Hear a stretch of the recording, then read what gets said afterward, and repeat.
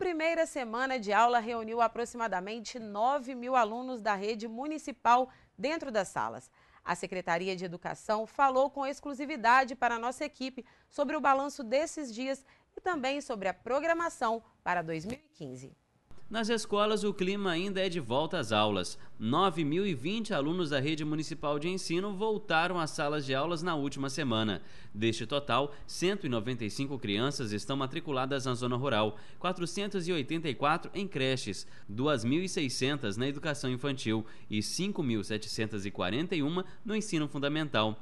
Para que não houvesse problemas, o planejamento foi antecipado. Nós deixamos já tudo organizado, encomendamos diários, os diários para os professores. No primeiro dia de aula, todos os professores já estavam com seus diários, né, justamente para não atrasar o trabalho do professor.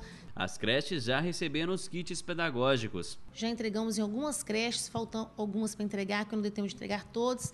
Né? Isso aí justamente para incentivar as nossas crianças, que ficam o tempo integral né? E eles têm ali aqueles brinquedos que eles brincam, são os brinquedos pedagógicos, né? Justamente trabalhados junto com os professores, com os estagiários. Este ano foram contratados cerca de 260 professores, 66 foram efetivados e o número ainda pode crescer. E o investimento na educação tem rendido bons frutos.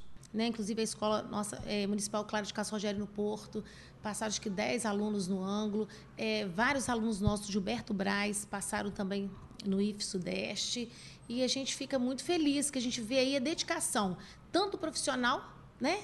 como também dos nossos alunos aí que estão interessados e vendo a necessidade realmente, a valorização do estudo na sua vida.